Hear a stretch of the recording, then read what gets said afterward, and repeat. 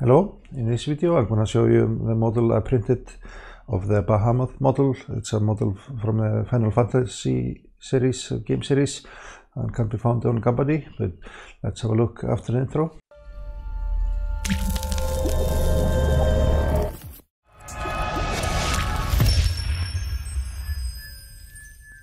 So this model is quite huge, you can see here compared to my hand the, the wings are crazy. Um, it's extremely delicate.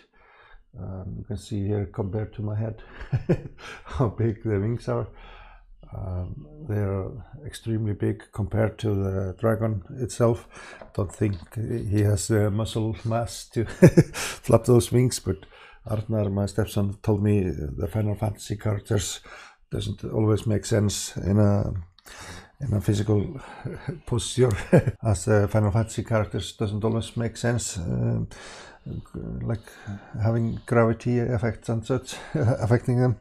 But uh, I'm gonna switch over to the closer camera and show you a little bit more in detail. So it's difficult to grasp the whole model. You can see like here's my hand on the wing. You can see how how big it is. Um, there are a lot of uh, online images of this dragon uh, with different color schemes and, and, different models and I tried to pick the one that made most sense compared to this model.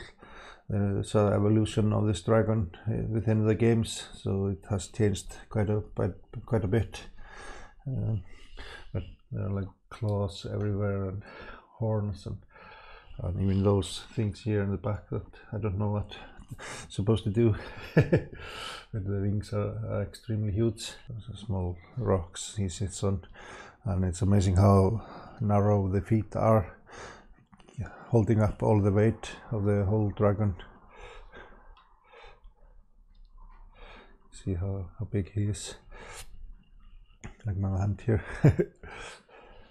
Uh, it's quite delicate. If, if, I turn it too fast, uh, I'm a bit worried that the legs will break at some point. So has to be really careful.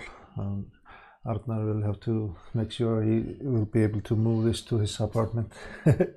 So this was my video on the Bahamut Dragon from Final Fantasy. It's a quite amazing model. It's a high detail model. Um, uh, just think the wings are too big. but Arnar told me in the game there are characters that make no sense in in physics or, or anything like that. So it's just a fantasy game and fantasy characters.